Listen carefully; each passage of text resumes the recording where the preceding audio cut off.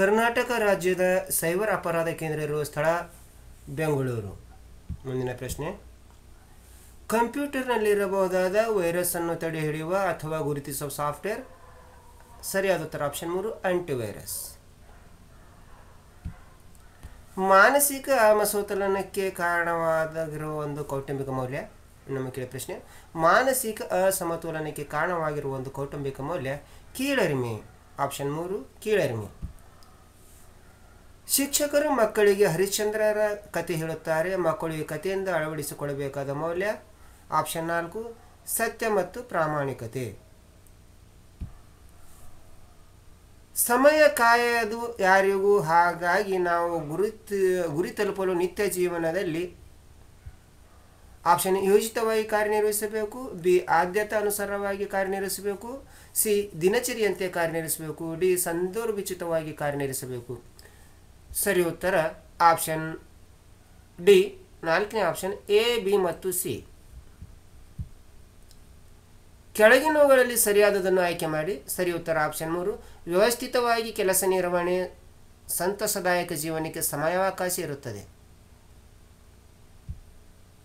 ಶಿಸ್ತು ಎಂದರೆ ಸರಿ ಉತ್ತರ ಆಪ್ಷನ್ ಎರಡು. ನಾವು ರೂಢಿಸಿಕೊಂಡಿರುವ ಕ್ರಮಬದ್ಧ, ನಿಯಮಬದ್ಧ, ಸ್ವಯಂ ನಿಯಂತ್ರಿತ ವರ್ತನೆ.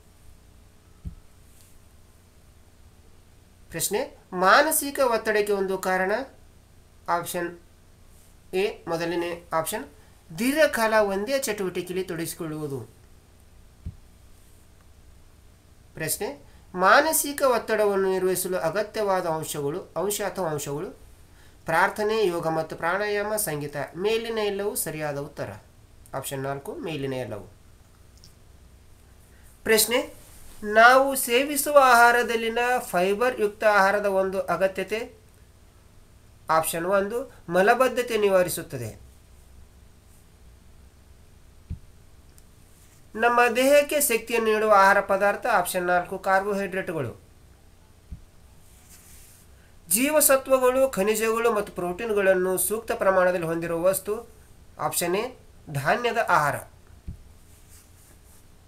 ಪ್ರಶ್ನೆ ದೇಹದ ಅಗತ್ಯವನ್ನು ಪೂರೈಸಲು ಸರಿಯಾದ ಪ್ರಮಾಣದ ಸರಿಯಾದ ಪ್ರಮಾಣದ ಕಾರ್ಬೋಹೈಡ್ರೇಟ್ಗಳು, ಪ್ರೋಟೀನ್ಗಳು, ಕೊಬ್ಬುಗಳು, ಫೈಬರ್, ವಿಟಮಿನ್ಗಳು, ಖನಿಜಗಳು ಮತ್ತು ನೀರನ್ನು ಹೊಂದಿರುವ ಆಹಾರ ಸಮತೋಲನ ಆಹಾರ. ಯಾವುದೇ ತ್ಯಾಜ್ಯ ನಿರ್ವಹಣೆ ಒಂದು ಸಮರ್ಪಕ ಕ್ರಮ. ಆಪ್ಷನ್ ಮೂರು ಹಸಿ ಕಸ ಒಣ ಕಸ ವಿಂಗಡಿಸಿ ಸೂಕ್ತ ವಿಲೇವಾರಿ ಮಾಡುವುದು ಪ್ರಶ್ನೆ, ವಾಯುಮಾಲಿನ್ಯವನ್ನು ಕಡಿಮೆಗೊಳಿಸುವ ಒಂದು ಉತ್ತಮ ಇಂಧನ? ಆಪ್ಷನ್ ನಾಲ್ಕು ಸಿ ಎನ್ ಜಿ. ಜೈವಿಕ ಜೈವಿಕ ಘಟಕಗಳು ಒಳಗೊಳ್ಳುವ ಅಂಶ ಅಥವಾ ಅಂಶಗಳು. ಆಪ್ಷನ್ ನಾಲ್ಕು, ಸೂಕ್ಷ್ಮ ಜೀವಿಗಳು, ಸಸ್ಯಗಳು ಮತ್ತು ಪ್ರಾಣಿಗಳು. ಉತ್ತಮ ಪರಿಸರ ನಿರ್ಮಾಣಕ್ಕೆ ಸಂಬಂಧಿಸಿದ ಒಂದು ತತ್ವ. ಆಪ್ಷನ್ ಮೂರು, ತಾನು ಬದುಕಿ ಇತರ ಜೀವಿಗಳನ್ನು ಬದುಕಲು ಬಿಡುವುದು. ಪ್ರಶ್ನೆ, ವಿಶ್ವ ಓಷನ್ ದಿನಾಚರಣೆಯ ಪ್ರಮುಖ ಉದ್ದೇಶ? ಆಪ್ಷನ್ ಎರಡು, ಓಷನ್ ಪದರದ ಪ್ರಾಮುಖ್ಯತೆ ತಿಳಿಯಲು. ಪರಿಣಾಮಕಾರಿ ಸಂವಹನದ ಒಂದು ಮುಖ್ಯ ಲಕ್ಷಣ, ಆಪ್ಷನ್ ಎರಡು, ಹೇಳಬೇಕಾಗಿರುವುದನ್ನು ಸೂಕ್ತ ಮಾಧ್ಯಮ ಬಳಸಿ ಹೇಳುವುದು. ತರಗತಿ ಸನ್ನಿವೇಶದಲ್ಲಿ ಕಂಡುಬರುವ ಒಂದು ಸಾಮಾನ್ಯ ರೀತಿಯ ಸಂವಹನ ಗುಂಪು ಸಂವಹನ